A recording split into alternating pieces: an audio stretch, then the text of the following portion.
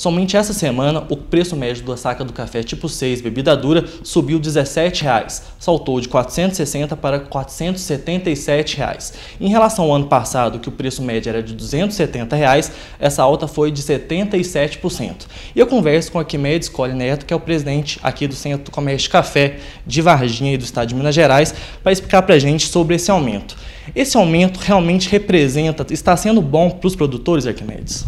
Ele está sendo bom para aquele produtor que deixou de vender o café, teve condições de segurar, na sua grande maioria já venderam, né? Então já realizou um prejuízo. Este momento um preço melhor, alguns produtores se aproveitando deste, deste preço, mas é, um, é, é, relativamente bom, porque nós estamos tendo uma alta em função de uma seca. E seca significa prejuízo no campo. Quer dizer, nós temos preço bom hoje, mas vamos ter prejuízo daqui a pouco com a próxima safra. Você acha que esse preço vai se manter ou deve subir nos próximos dias ainda mais? Qual que é o patamar que você espera que esse preço chegue? É difícil dizer a que nível o mercado vai chegar, né? O mercado subiu bastante.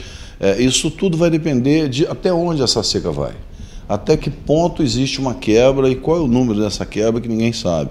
Se nós tivermos uma quebra muito grande e for pior do que aquilo que está imaginando, com certeza o mercado deve subir mais. Agora, se for dentro do esperado ou tiver uma pouca, uh, pouca quebra com relação a essa safra, logicamente o mercado deve se situar por aí mesmo. Uhum. No ano passado, em visita aqui a Varginha, presidente Dilma anunciou a compra de 3 milhões de sacas pelo preço de 343 reais. Então não compensa mais o produtor vender essas sacas. Como que o governo agora vai proceder?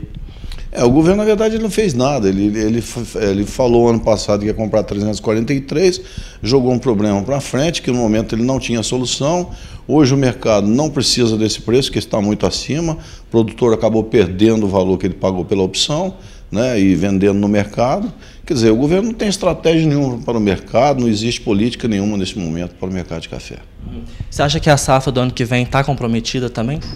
Olha, os sentimentos que a gente tem é que o mercado está é, sentindo que existe uma quebra muito grande. Diante disso, eu acredito que o importador está se precavendo, o mercado está muito firme e vamos aguardar a colheita para a gente ver que tamanho que é o prejuízo. Tá então, obrigado pelas informações, Arquimedes. Eu conversei com o presidente do Centro Comércio Café do Estado de Minas Gerais, Arquimedes Cole Neto. Agnaldo Monteiro para o Jornal Cidade.